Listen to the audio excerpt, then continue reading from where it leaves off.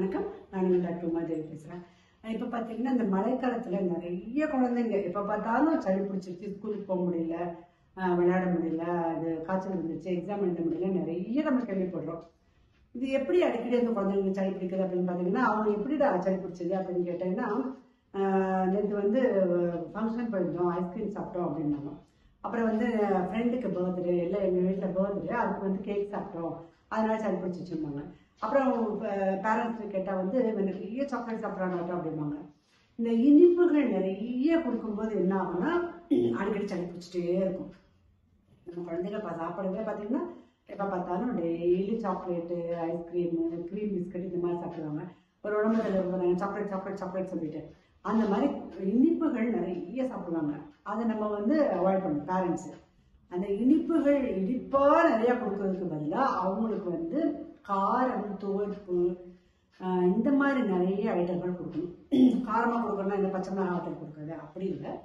நம்ம சாப்பிட்ற ஃபுட்டுலேயே வந்து மிளகு இஞ்சி நிறைய சேர்த்துட்டே வரணும். ஏன்னா மிளகை வந்து பைப்பர் நைக்கிறம்னு சொல்லுவாங்க. அந்த மிளகுல பெப்பர்னு ஒரு வேஸ்ட் இருக்குது அது வந்து நம்ம இம்யூனிட்டியை கூட்டுறதுல பல மடங்கு சிறந்தது. இது எப்படி கொடுக்குறது அப்படின்னு பார்த்தீங்கன்னா நம்ம ஃபுட்டில் ரசம் செய்யும்போது மிளகு சேர்ப்போம். இல்லை முட்டை ஆம்லேட் செய்யும்போது அது மிளகு பெப்பரு உப்பு சேர்ப்போம். அப்புறம் வந்து இந்த பொங்கல் அந்த மாதிரிலாம் செய்யும்போது அந்த மிளகு சேர்த்து செய்வோம். இந்த பிள்ளைங்க என்ன பண்ணுவாங்கன்னா அந்த மிளகு அந்த பொங்கல் எல்லாம் மிளகு முழுசாக சேர்த்தோன்னா அது பொறுக்கி பொறுக்கி போட்டுட்டு சாப்பிடுவாங்க. அதுக்கு என்ன பேரண்ட்ஸ் என்ன பண்ணணும்னா மிளகை கொஞ்சம் தட்டிட்டு அவங்க பொறுக்கி போடாத மாதிரி அதை சாப்பாடு கூட சேர்த்து பண்ணணும். அப்புறம் வேற குழம்பு இல்லை காயெல்லாம் செய்கிறோம்னா இந்த காய் செஞ்சுட்டு கடைசியில் வந்து அந்த பெப்பர் தூவி அந்த மாதிரி கொடுத்து பழக்கணும் அப்புறம் வந்து முட்டை ஆம்லேட் போட்டாலோ இல்லை முட்டை வேக வச்சு கொடுத்தாலோ டெய்லி வந்து குழந்தைங்களுக்கு ரெண்டு எக் கூட கொடுக்கலாம். அந்த மாதிரி கொடுக்கும்போது என்ன பண்ணணும்னா முட்டையை வேக வச்சு அதை கட் பண்ணி பெப்பர் தூவி இது நல்லதுப்பா இதை சாப்பிடு இந்த மாதிரி சாப்பிடும்போது உனக்கு அடிக்கடி சளி பிடிக்காது அப்படின்னு சொல்லிட்டு அவங்க கொடுத்து பழக்கணும். அப்புறமேல ஆம்லேட்லாம் போட்டாங்கன்னா அந்த பெப்பர் தூ தூவி அதை கொடுக்கணும். இந்த மாதிரி கொடுத்துட்டே வரும்போது அவங்களுக்கு வந்து அந்த காரச்சத்தும் அவங்க சேரும் அவங்களுக்கு சளியும் பிடிக்காது. அப்புறம் ஈஸியாக நம்ம வீட்டுக்கு பக்கத்துலேயே கிடைக்கிற இதை வச்சே நம்ம வந்து சளியை சரி பண்ணலாம்.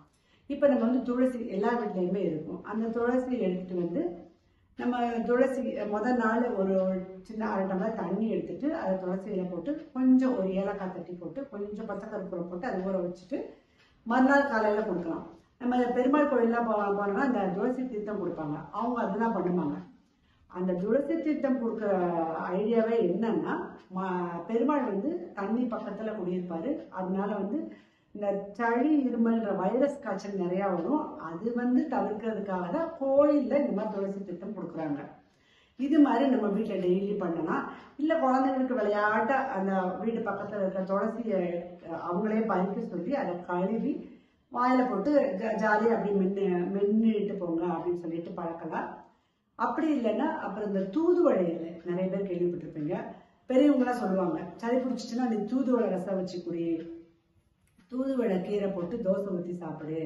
இந்த மாதிரி சொல்லுவாங்க. அந்த மாதிரி தூதுவளை ரசம் போட்டு செய்யலாம். அப்புறம் இந்த தூதுவளையை சாறு எடுத்து கொஞ்சம் தேன் கலந்து கொடுக்கலாம்.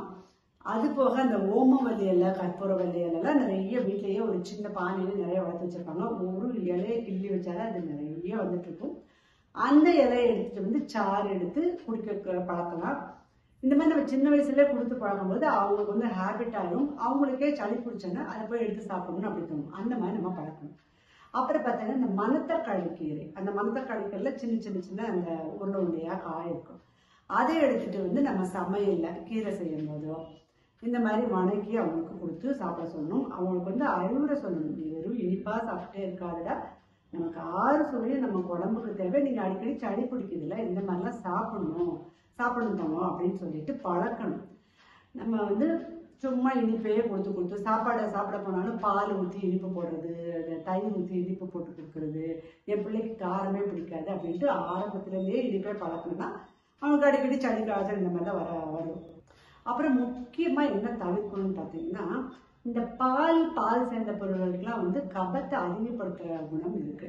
அதனால வந்து நம்ம நம்ம என்ன நினைக்கிறோம்னா குழந்தைக்கு உடம்பு சரியில்லை உடம்பு சரியில்லை சாப்பிட மாட்டேங்கிறான். சரி பாலையாவது குடிச்சிட்டு போட்டுன்னு சொல்லிட்டு பாலை காய்ச்சி காய்ச்சி கொடுக்குறது. அப்படி பால் அவாய்ட் பண்ணுங்க. அப்படி முடியாத பட்சத்துல ஏதாவது பால் கொடுத்துதான் ஆகணும் அப்படின்னா ஒரு கால் டம்ளர் பால்.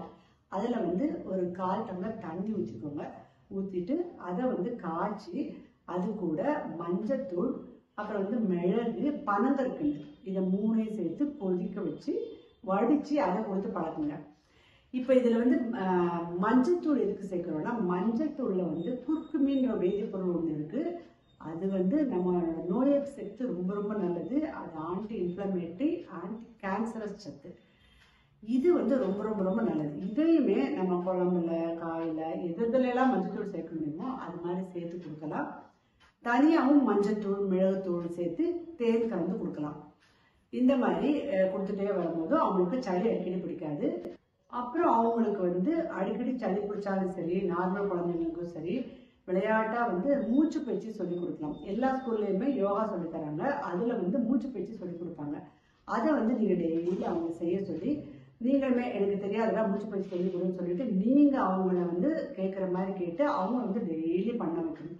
இந்த மாதிரி மிளகு மஞ்சள் துளசி தூதுவளை அப்புறம் மூச்சு பயிற்சி சில சின்ன சின்ன யோகா பயிற்சி அப்புறம் வந்து வெயிலில் வந்து நல்லா ஓடி ஆடி விளையாடுறது இந்த மாதிரி நம்ம டெய்லி ஆக்டிவிட்டிஸ் இருந்தாலே ஒரு த்ரீ ஃபோர் மந்த்ஸ் ரெகுலராக பண்ணிகிட்டே வந்தாலே அவங்களுக்கு அடுத்த சீசனில் பார்த்தீங்கன்னா அவங்களுக்கு சளி பிடிக்கிறது கொஞ்சம் கொஞ்சமாக கம்மியாகிடும் ரொம்ப ஆரோக்கியமாக இருப்பாங்க. நம்ம குழந்தைங்களும் லீவ் போடாமல் ஸ்கூல் போவாங்க எக்ஸாம் எழுதுவாங்க.